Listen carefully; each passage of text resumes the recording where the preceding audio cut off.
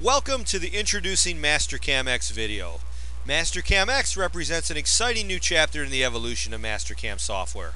Mastercam X is the culmination of thousands of hours of development and beta testing by many dedicated and hardworking people. Many of the existing changes and enhancements to Mastercam X are the direct byproduct and result of what our loyal Mastercam users have been requesting over time. This new platform will also provide a solid foundation and framework for future growth and advances in machine tool technology. The purpose of this introduction video is to provide you, our valued customers, some basic insight and overview information about the extensive changes and enhancements to Mastercam in an easy to understand and simple format. While this introduction video is not a substitute for formal training, the primary objective is to familiarize you with the new Mastercam X interface and work environment. Additionally, this video will provide some upfront insight into not only the look and feel of the new software, but also some baseline understanding of the new streamlined workflow and the supporting vocabulary behind it. My name is Chuck Beckus, and I'm here with our Mastercam application engineer David Canigliaro. I'll be your host for the next 25 minutes or so, narrating the video and software interactions while David drives the software for us. On behalf of everyone here at CNC Software and the entire Mastercam distribution network, we'd like to thank you for choosing Mastercam. So without further ado, let's get started with our overview and introduction to Mastercam X.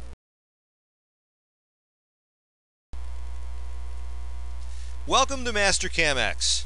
Prior to us demonstrating actual modeling and machining inside Mastercam X, we're going to begin by providing a very basic overview of the new Mastercam X interface. Let's begin with the menu bar at the very top. The menu bar has been organized in an effort to make legacy users feel comfortable immediately. You'll notice that the menu bar choices closely resemble the familiar root menu system that Mastercam used for many years. I'll go ahead and access the Create Line Endpoints function. Notice the icon next to this function. This icon is the same icon used in the Sketcher toolbar to create a line from endpoints. In an effort to ease your transition, we have provided this as an aid to help you get familiar with all of the icons on the Mastercam X toolbars. Underneath the menu bar, you'll find the Mastercam X toolbars. A toolbar is simply a grouping of common functions. Toolbars can be docked in different locations on the interface, both horizontally and vertically. So I'll go ahead and undock the Xform toolbar by left click dragging it onto the graphics area. I can place my toolbar anywhere on the graphics area. I can dock it on one of the sidebars or I can even dock it at the bottom of the screen. These toolbars are completely customizable. You can choose to customize an existing toolbar or you can create a brand new toolbar as you wish. Toolbars can also be turned on and off. I'll just go ahead and turn this one off. To turn a toolbar back on, you simply right click in a toolbar area on the screen. Here I have a list of my available toolbars. I'll select here to turn my Xform toolbar back on and before I move on I'll dock it at the top once again. Any custom toolbar that you create will be available on this form for future use. So if I create a toolbar and I name it custom toolbar, I'll see the name custom toolbar in this list. One of the many new enhancements for Mastercam X is the addition of the most recently used or MRU function bar. It's located on the right side by default. The MRU function bar tracks your most recently used functions and keeps them handy and available in a convenient location for quick access. So if I go ahead and sketch a line and then delete that line, Notice that the line and delete functions have been added to the MRU function bar. You can establish how many functions this toolbar will hold for you in the system configuration dialog box. At the bottom of the screen, we have the Mastercam X status bar. This contains the functionality that was formerly located in the secondary menu in previous versions of Mastercam. The status bar provides quick and easy access to, as an example, system color, your levels management, system attributes, and other functions found in the old secondary menu. Next we'll cover the ribbon bars. Ribbon bars are located at the top of the screen under the toolbars.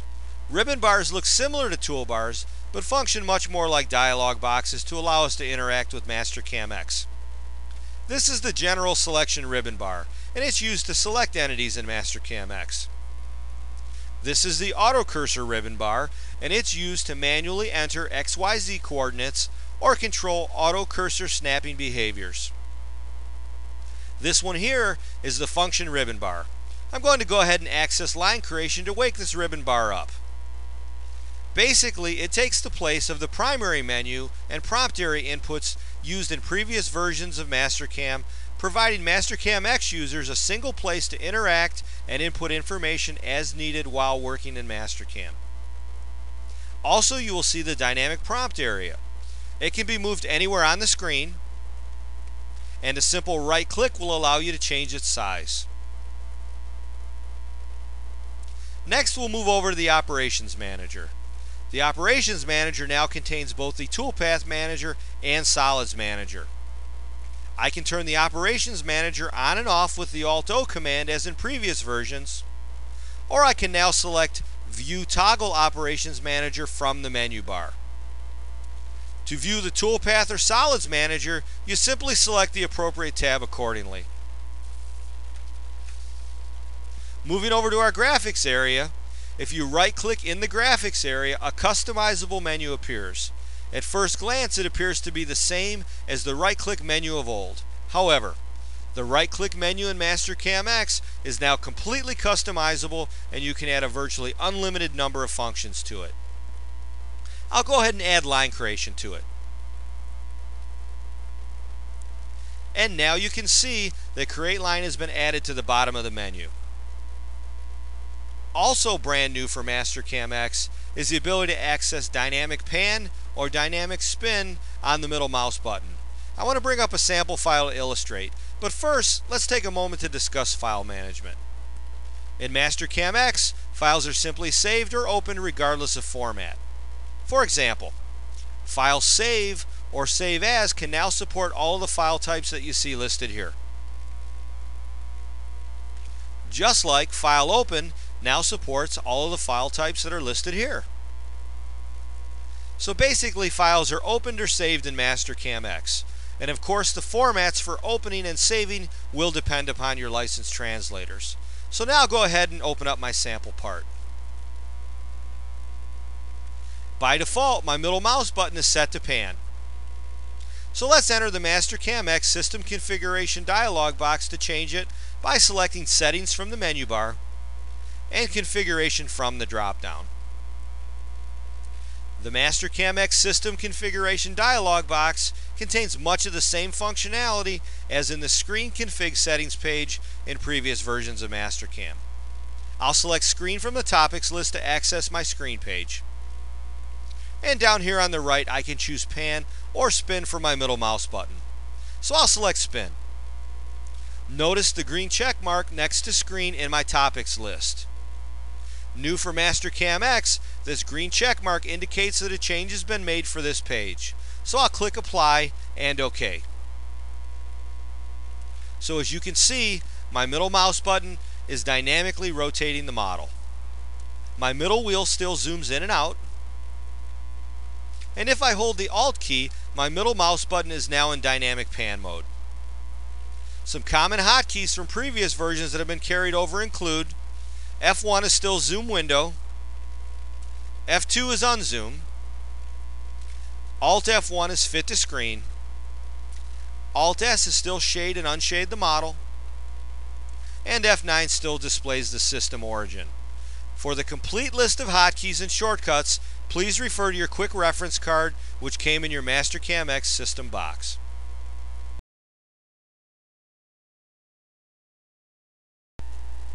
Moving on, I'll talk about some basic wireframe development in Mastercam X. I'll just go ahead and turn off the Operations Manager by hitting Alt-O to give us some additional workspace while designing.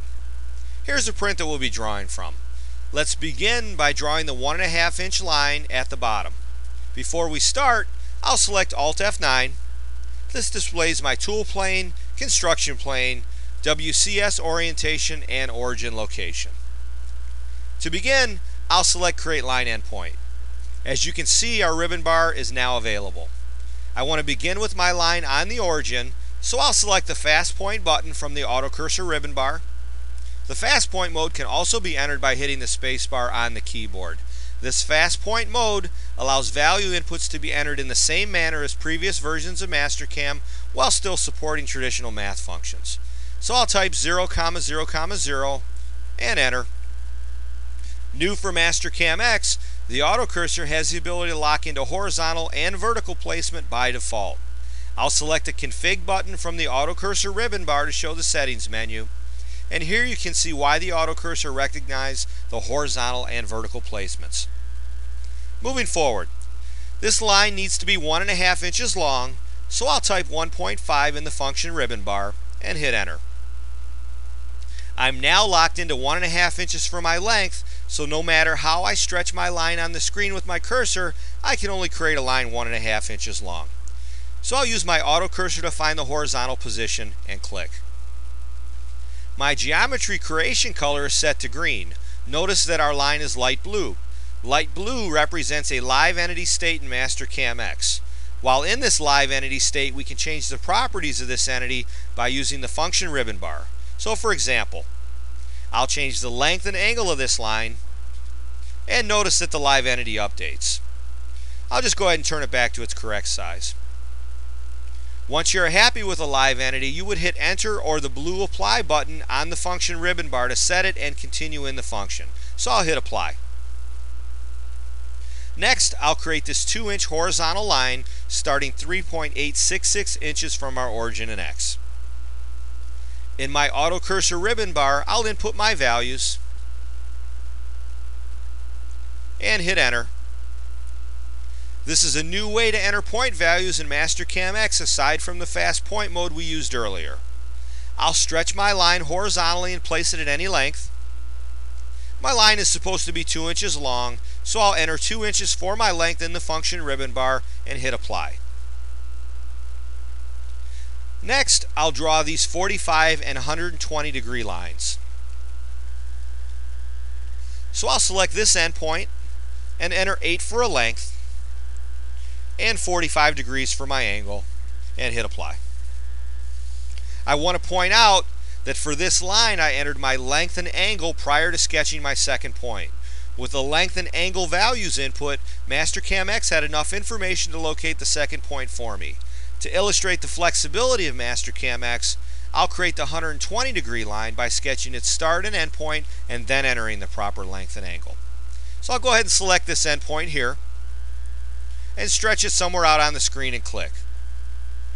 I'll select 8 inches from the drop down in the function ribbon bar. Notice how your inputs are remembered. I'll then type 120 degrees and hit enter. My live entity display updated. It looks good so we can apply. Next, I'll draw this horizontal line 4.975 inches in the Y. I'll click here to enter horizontal line creation and sketch my line up on the screen. I'll enter 4.975 to place it, but this time I'll hit the OK button. Up to this point I've been hitting the apply button. The apply button completes your creation and keeps you in the function. The OK button completes your creation and exits the function. There are many ways to exit functions. Hitting the OK button, using the escape key, or simply selecting another function all of which are correct depending on your intentions. Next, I'll use the create line parallel function to go ahead and complete the part. So I'll select create line parallel from the dropdown. My dynamic prompt is telling me to select a line, so I'll pick my 45 degree line. My dynamic prompt is now asking for a placement point, so I'll pick here. Now I'll go ahead and create the other parallel line. At this point, my geometry creation is complete, and all I have to do is just trim it up. Here's the trim icon. I'll select Trim Divide. Trim Divide works differently now. It will trim entities that physically intersect back to their intersection. So watch as I trim this up.